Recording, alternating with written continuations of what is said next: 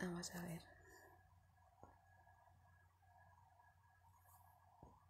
Así.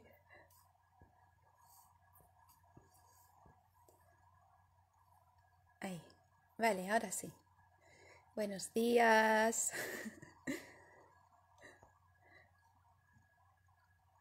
A ver, voy a invitar a, a Ligeia, que ya sabéis que nos reunimos ahí. Bueno, ahora cada jueves. Para compartir un ratito y ahí vamos a... Aquí estamos. Listo. Ahora nos escuchamos. ¿Tú me escuchas perfecto? Te escucho perfecto. Ok, pues lo tenemos. ¿Tú me escuchas también? Sí, Yo no te escucho por Instagram. ¿No me escuchas por Instagram? No. Sí. Te escucho con eco en Instagram, ¿verdad? A ver, Yo me escucho con eco. sí nos escucha, porfa. ¿Se nos escucha a las dos? A ver, ¿ahora? ¿Ahora? No, No, yo no te escucho. ¿no? Yo te escucho, por Instagram te escucho Ah, pues perfecto entonces yo creo también. que estamos bien. Entonces, este lo dejo aquí. Sí, si nos escuchas y yo te escucho por aquí. ¿Sí? ¿Ahora sí? Yo te escucho perfecto. Sí, ya. ¿Tú a mí? Vale. Sí, perfecto. Ojalá y esto.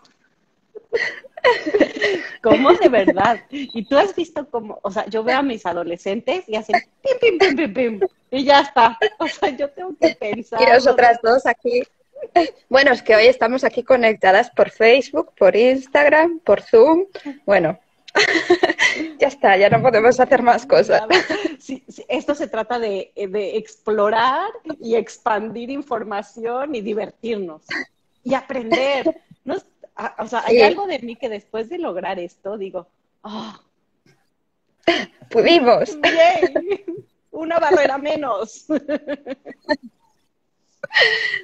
Ay, ay. Bueno, Bueno. me encanta que estemos aquí esta semana y justo estábamos hablando eh, a- un poquito antes de todo esto que nos está pasando que es como in- atemporal, de cosas que tenemos que ir refrescando dentro de nuestra información y de nuestro cuerpo y de nuestro y de nuestro saber, ¿no? Para porque hay muchas cosas que si se quedan simplemente en la mente y, y no las traemos a la experiencia, pues se nos va, ¿no? Es como el día que aprendiste las fracciones quebradas con... Yo pues las he de haber aprendido, pasé el examen, pero las tendría que recordar, ¿no? Sí, total. Mm.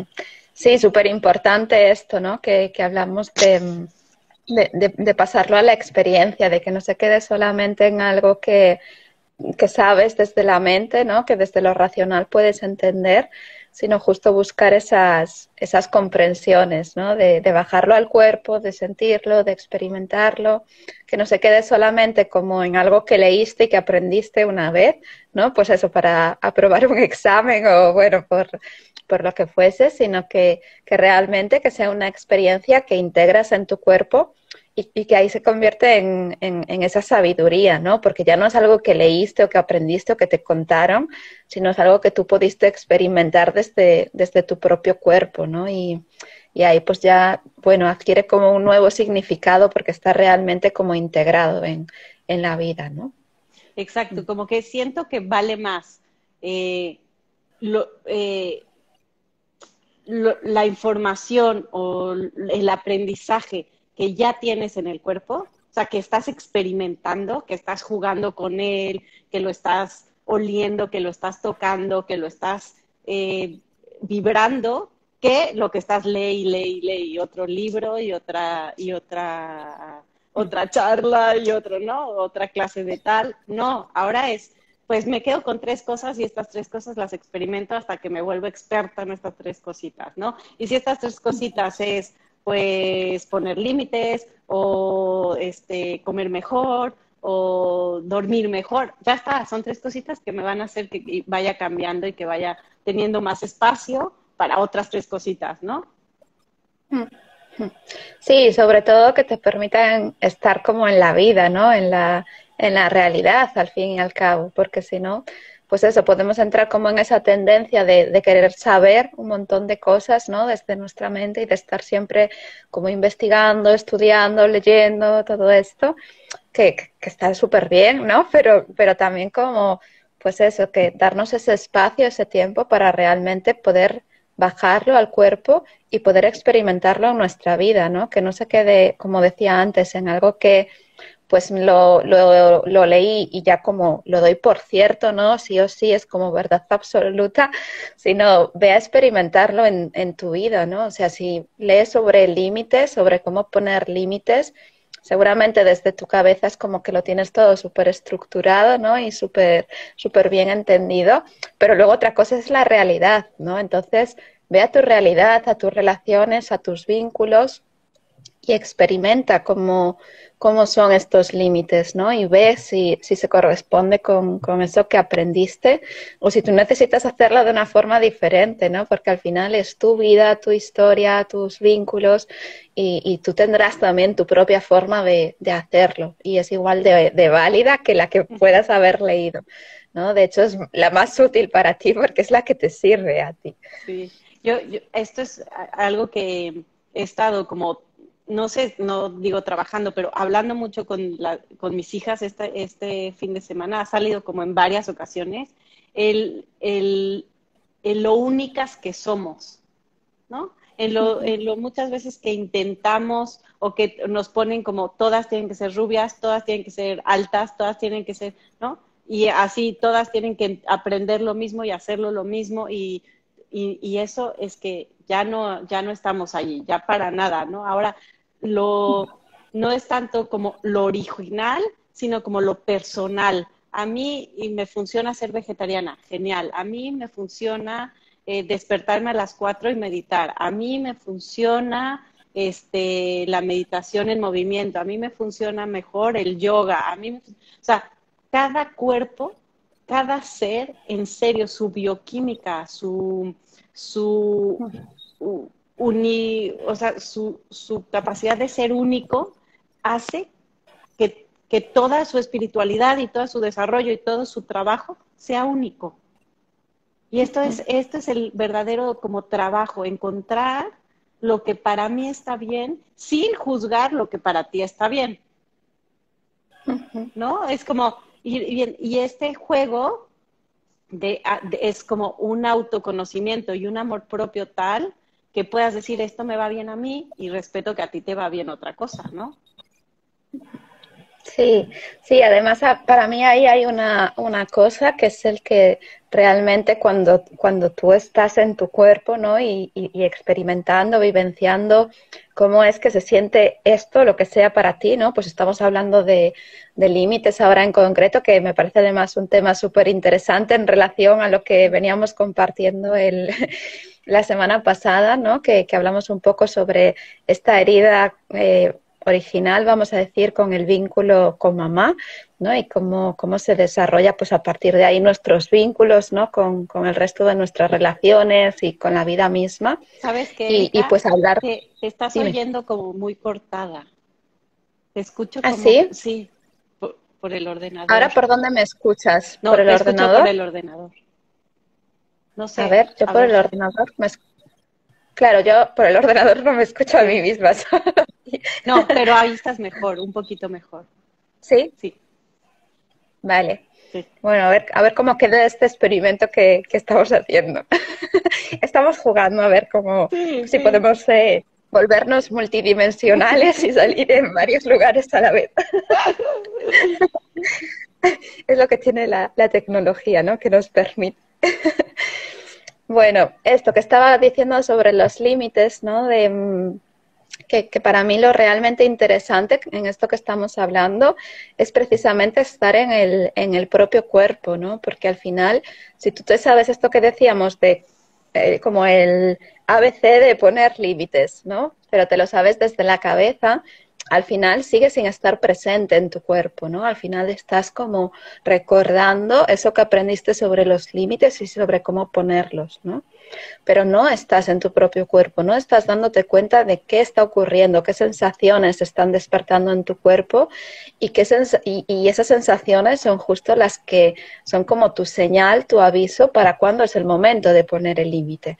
¿No? Entonces, si yo sigo desde mi mente queriendo entender cómo hacer esto y me olvido de, ir al cuerpo, de ir a esa sensación, de estar presente en, esto que está ocurriendo aquí ahora, que es lo que me da la señal precisamente para poner el límite, pues al final tampoco me sirve, ¿no? Porque me voy a dar cuenta del límite cuando ya se haya pasado, ¿no? Entonces ya voy a entrar de nuevo en esta dinámica de, vale, pongo el límite, pero ya lo pongo desde un lugar que no es, porque ya tengo como toda la carga, ¿no? De que debería haberlo puesto pues hace dos minutos, dos semanas o veinte años y lo pongo ahora, ¿no? Porque es cuando me estoy dando, dando cuenta.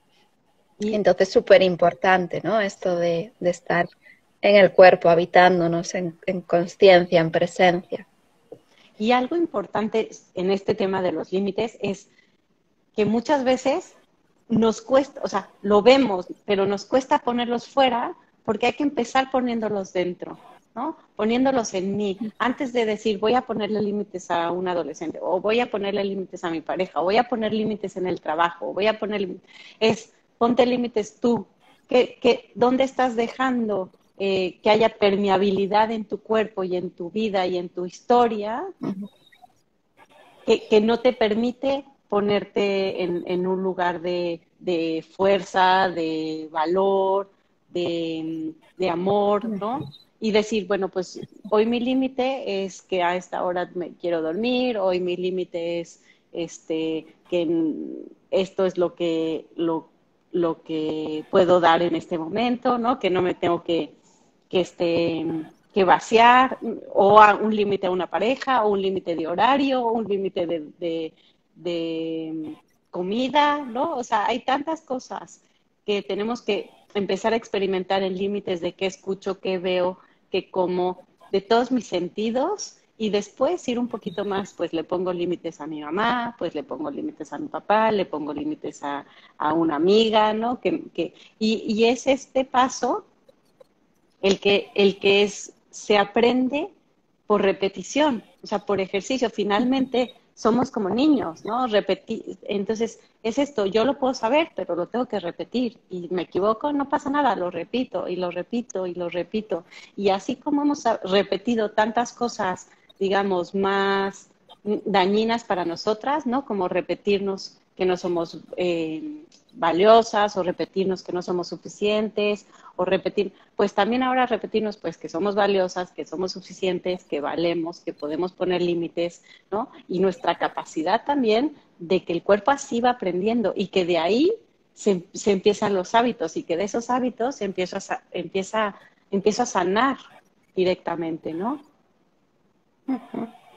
Sí, total. Justo, y esto que, que decías, ¿no? Que empieza precisamente por por una misma y, esto lo hacemos, pues volvemos a lo que hablábamos antes, ¿no? Lo hacemos estando en presencia en nuestro cuerpo, ¿no? Dándonos cuenta de que todo eso que creemos que sucede fuera en realidad sucede adentro de, nosotras, ¿no? Y, y, es ahí donde podemos entrar a esta transformación que también estabas compartiendo, ¿no? De, de, pasar de estas repeticiones que no son tan sanas, digamos, para nosotras, a unas que estén más acordes con, con quién soy hoy. Y a mí aquí me, me parece súper necesario esto de, porque muchas veces se habla sobre las afirmaciones, ¿no? Y, y, los mantras y todo esto de repítete un montón, pensamiento positivo, no sé qué, toda esta historia, ¿no? Pero pues eso, de nuevo vuelvo a lo, a lo que decía antes, ¿no? De genial todo esto de repítete, mantréate, afirma, pero hazlo con conciencia, ¿no? Y, y, con presencia en tu propio cuerpo, porque si estás como mantreándote desde aquí y no estás dándote cuenta de lo que está pasando en tu cuerpo, ¿no? Por mucho que yo me diga desde aquí que soy aceptada, que soy amada, que soy lo que, lo que sea que me está ocurriendo, si no estoy presente en todas esas sensaciones que se están despertando en mi cuerpo y que me están llevando a otro lugar diferente para poder liberarlas, ¿no? Pues al final sí se va a quedar en un mantra que te vas a estar repitiendo un montón de tiempo, pero que realmente pues no va esto, ¿no? Esta palabra que, que utilizamos tanto y que a veces como que no es tan fácil de, entender el significado que es integrar la experiencia en el cuerpo, ¿no? Entonces se trata de eso, de poder, eso que te estás diciendo aquí, cómo lo paso al cuerpo a través de la sensación, ¿no? Por eso en el, en el Tantra o, en el Tao nos, nos, vamos tanto al cuerpo, ¿no? Y le damos tanta importancia al cuerpo porque realmente es el que nos permite hacer esa transición, ¿no? Como pasar de esto que estoy creyéndome aquí o afirmándome aquí a llevarlo al cuerpo y que entonces se pueda ir hacia afuera, ¿no? Y que se convierta en, parte de mi realidad. Y creo también aquí súper importante que no vayamos a ponernos como que, esto es algo que también nos pasa, unas metas enormes, ¿no? Para que nuestra mente nos diga, ah, ves que no puede, ves que no, ves que no, que tú no eres suficiente para hacer, no, como que empezar por cositas pequeñitas, empezar por, y esto que, hablas tanto de, que nos repetimos y que las afirmaciones, exactamente, pero si te afirmas repetidamente algo, también es que estás rechazando que no eres eso. Entonces, si te lo está teniendo que decir es porque no está todavía dentro de ti, ¿no? Entonces es como, jugar un poco con decir, bueno, me hago esto, pero ¿y qué estoy? ¿Qué soy? ¿Qué estoy moviendo desde dentro? Más que afirmarlo, más es como serlo. Ya soy, ya soy eh, sana, ya soy abundante, ya soy próspera, ya me acepto tal y como soy, ya, ya soy. Entonces ahora más bien, en vez de afirmarte, es actuar como tu afirmación. ¿no?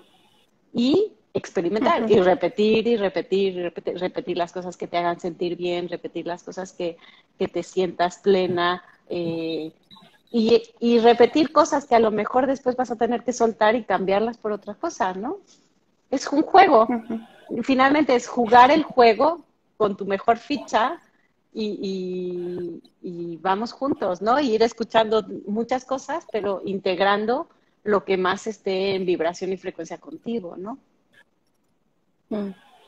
Sí, esto que, decías ahora también es muy interesante, ¿no? Porque también como, bueno, y, también forma parte como de, últimamente de, de, mi historia, ¿no? Como de darnos cuenta de que realmente no, no hay ninguna búsqueda, ¿no? De, de llegar a ningún lugar ni de alcanzar nada, ¿no?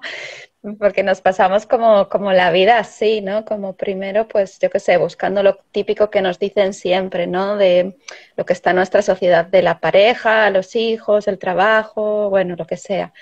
¿No? Pero luego, pues si, si, despertamos, ¿no? Este término que también utilizamos tanto y nos metemos al mundo de, de la conciencia, pues también, ¿no? Entramos en esa búsqueda espiritual, ¿no? Que nos lleva a querer siempre estar en, en un lugar diferente al que estamos, ¿no? Como buscando esa, no, no, sé si llamarlo perfección o, bueno, esa búsqueda espiritual, ¿no? Que siempre queremos como esa iluminación, ese despertar o estas historias que, buscamos desde la conciencia, ¿no? Pero al final, de nuevo, volvemos a, a, creernos inadecuadas, ¿no? A creer que nos falta algo o que necesitamos encontrar algo más, ¿no? Y, y, seguimos estando en lo mismo, en realidad, ¿no? Entonces, justo eso es como... Eh, perdón, es, esta adicción, ¿no? Esta adicción a voy a ser feliz cuando tenga esto, voy a ser feliz cuando tenga este peso, voy a ser feliz cuando encuentre el príncipe azul. Y entonces te vuelves adicto a todo esto, ¿no? Alcanzar una, una cosa que, que, que, si tú dices que no la tienes, es que no la tienes. Entonces tienes, ahí hay un montón de presencia, un montón de, de, de amor propio para trabajar por dentro y no tanto lo que no tienes, sino lo que en serio la, la abundancia y la gran y la gratitud de lo que tienes y eres, ¿no? Y de lo diferente que, no es real. somos todos. Sí, bueno, eso es muy importante. y que al final que no es real, ¿no? O sea, que estás ahí como siempre en esa búsqueda, ya sea pues eso del trabajo, de la pareja o del o de la iluminación o de la conciencia o de lo que tú quieras, pero al final estás en una búsqueda que es externa, ¿no? que, que, va hacia afuera, porque cuando tú estás, aunque en la conciencia hablamos de esto siempre también, ¿no? de mira hacia adentro, qué pasa dentro de ti, todas estas cosas, pero al final no es real, ¿no? porque cuando nosotros estamos como queriendo buscar algo, ¿no? Ese algo es porque, porque no, creemos que no lo tenemos en, en nosotras, ¿no? En nuestro interior. Entonces, cuando inicias la búsqueda, sea el tipo de búsqueda que sea, ya te estás yendo hacia, hacia el exterior, ¿no? Entonces deja de ser real. Eh, por eso está, como siempre, este, vuelve a las sensaciones, ¿no? Vuelve a, a, qué está ocurriendo en este instante. Esto también es necesario, ¿no? O sea, ahora tampoco no se trata de que, Dios mío, estoy en la búsqueda y sigo estando. También es, es parte del camino, ¿no? Porque al final está este estar en esta búsqueda también es lo que nos va permitiendo como despertar ese aspecto de observadora, ¿no? Del que ya hablamos tantas veces y, y es ahí que nos vamos dando cuenta, ¿no? De que al final pues en, no es necesaria la búsqueda, ¿no? Porque ya está, o sea, todo eso que busco, esa presencia, esa conciencia, todo eso ya está en mí, ¿no? Solo tengo que darle el espacio para que se exprese a través de mí. Pero eso solo lo voy a, a lograr eh, poder ver si me desapego, ¿no? Si hago este ejercicio de empezar a entrenar a esa observadora interna para que me permita ver como todo lo que soy, ¿no? Porque ahora mismo pues voy a eso, esto que decimos, ¿no? De que vamos así por la vida y solo vemos como lo que se nos presenta aquí, ¿no? Pero cuando empiezo a hacer este despliegue de, de esta otra parte de mí misma, de observarme, ¿no? Pues de repente me doy cuenta de que tengo una visión mucho más amplia en la que aparecen como muchos diferentes aspectos de mí misma, ¿no? Entonces ya no hay nada que buscar, ya, es, ya eres, ¿no? Y, algo aquí importante es que nos imaginemos que somos, bueno, que sí somos, o sea, pero visualicemos que somos imanes de todo esto que queremos, de todo, si lo deseas es porque está en tu vibración, porque no todos deseamos un Ferrari o no todos deseamos el príncipe igual, o no todos, ¿no? O sea, o el trabajo, no. Entonces, si tú es lo que tú deseas, es porque está en tu vibración y tu frecuencia. Si no lo tienes en este momento, es porque no estás eh, conectada con la frecuencia y la vibración de esto que, estás, que, que deseas. Entonces, lo interesante es esto que dices, crear el espacio en tu cuerpo para que tu vibración sea igual a esta cosa que estás deseando. Y esto se hace a través de todo este camino, a través de la presencia, a través de, poner límites, a, través de observar tus traumas, a través de observar eh, tus dolores, ¿no? Y ver que, que conforme empiezas a explorar dentro de ti, tu vibración empieza a, empieza a elevarse o a, cambiar, ¿no? Y tu frecuencia, y empiezas a ver que en tu, en tu realidad tienes más espacio para jugar, más espacio para relacionarte, más amigos, más oportunidades, ¿no? Y así es como eh, empezar con pasitos pequeños, ¿no? Es como no hacer como tanta, tanta eh, eh, ganas de que ya voy a cambiar y este libro me va a cambiar y algo. No, sino ir pasito pasito, pasito pasito, pasito pasito y llegarás más lejos, ¿no? Y entonces llegarás y encontrarás y te divertirás. Y esto es el camino, este es el juego. Sí, para mí, para mí ahora es como eso, como vivirlo como, como un juego, ¿no? O sea, no, no hay nada que hacer, no hay ningún lugar al que ir, ¿no? Al que llegar, no, nada que transformar. Y en realidad ahí pues se va dando todo esto, porque en el momento, justo en el momento en el que, en el que sueltas como toda esa idea, ¿no? De que tienes que hacer un montón de cosas para lo que sea, ¿no? O que tienes que, o, o que te pones como toda esa carga de tener que llegar a algún lugar, de tener que ser otra persona diferente, pues claro, imagínate, ¿no? Dependiendo de dónde sientas tú ahora, dónde creas tú ahora que estás y todo lo que haya que caminar hasta donde quieres llegar, ¿no? Hasta donde tienes esa expectativa, pues al final puede ser como un viaje intenso, ¿no? Y, y, muchas veces, pues esto que tú decías, ¿no? También Exacto, justo, iba a decir esto también frustrante porque al final como que te, eso, si son cosas como muy, muy lejanas o que tú crees que están muy lejanas a ti, al final ya es como, ¡buf! Hasta que llega ya, Dios mío, ¿no? Y todo esto que tengo que soltar y esto no se acaba nunca, ¿no? Yo escucho muchas veces en,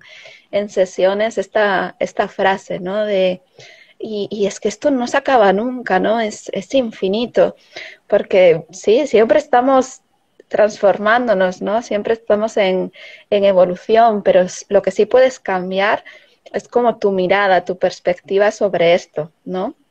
Claro que si lo ves desde estoy aquí y quiero llegar aquí, claro que puede ser un camino muy frustrante y que no se acaba nunca, ¿no? Pero si cambias tu mirada desde estoy aquí y, acepto y amo que estoy aquí, en este punto, y no sé dónde es aquí, ¿no? No sé hasta dónde voy a llegar, porque no hay ningún lugar al que llegar, simplemente pues estoy viviendo, estoy jugando simplemente entre comillas, ¿no? Porque esto es para lo realmente como complicado, ¿no? El, el, el, el de verdad vivir desde esa sencillez, ¿no? De que no hay nada, ningún lugar al que llegar, nada que hacer, ¿no? Es como suéltate todas esas paranoias que, que te montas y, y simplemente vive, ¿no? Simplemente permítete jugar en el, en el lugar en el que te encuentras y aceptar, amar con todo tu ser este lugar en el que te encuentras y esta persona que eres en este instante.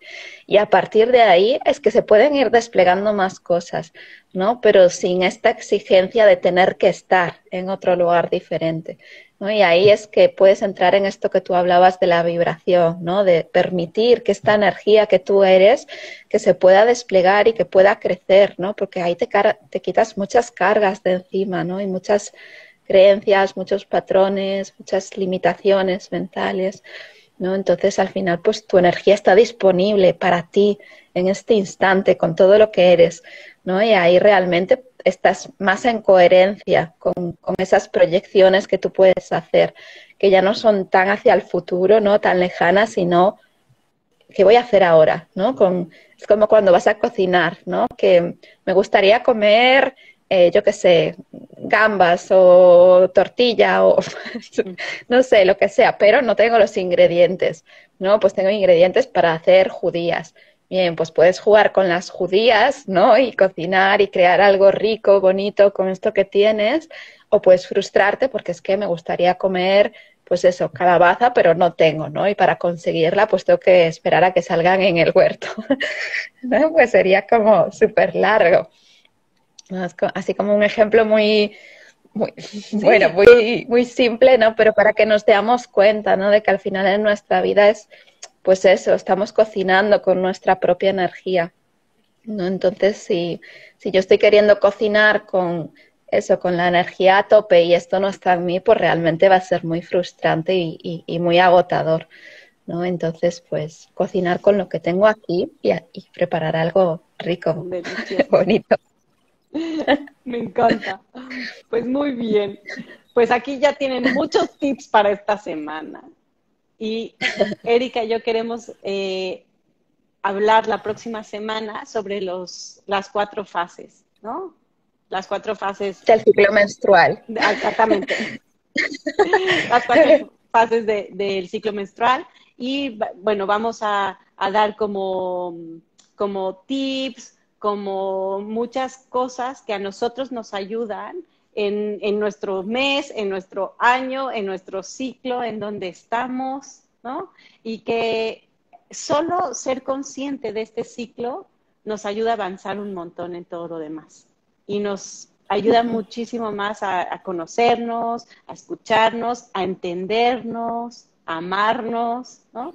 Y para nosotros es algo como muy sencillo, es como la herramienta básica femenina para, para, ir, para ir andando en este camino, ¿no? Para ir yendo más al presente y aparte, pues es bonito, es divertido, eh, es, para nosotras es orgánico, ¿no? Tu cuerpo se empieza a sentir bien, lo vas a escuchar y lo vas a sentir como, como coherente con lo que has vivido todos estos años, ¿no? Y si es la primera vez que lo has escuchado, pues te va a encantar, no sé, es algo que para nosotras es un poco pasión y ya es algo que está integrado, entonces seguro van a salir un montón de ejemplos de cómo lo hemos hecho, de cómo lo hemos enseñado, de cómo lo, yo lo quisiera enseñar a mis hijas cuando empiecen su menstruación, ¿no? Y entonces e, es un juego, es un juego, pero es un juego femenino eh, que, ah, bueno, me apasiona.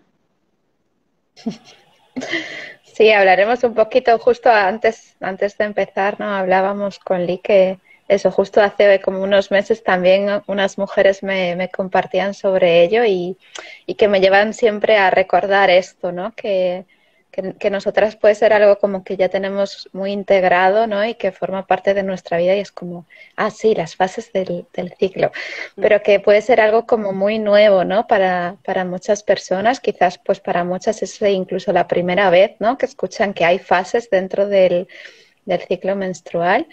Entonces, pues bueno, y sobre todo esto que, que decías ahora, Lee, de de, poder llevarlo a eso, a la experiencia, ¿no? Y desde cómo nosotras lo, lo vivimos, cada una de estas diferentes etapas, pues ver cómo, podemos empezar a ser más conscientes de, de, cada una de ellas desde el cuerpo, desde la corporalidad, ¿no? Y, y, desde ese estar en, en nosotras mismas y con, con, con, todo lo que esto implica, ¿no? Con cómo poder aprovecharlo, con qué cosas son eh, más fáciles, ¿no? Realizar en cada una de las etapas, cómo se mueve la energía, bueno, un poquito todo, todo esto. Os lo contamos eh, la próxima semana.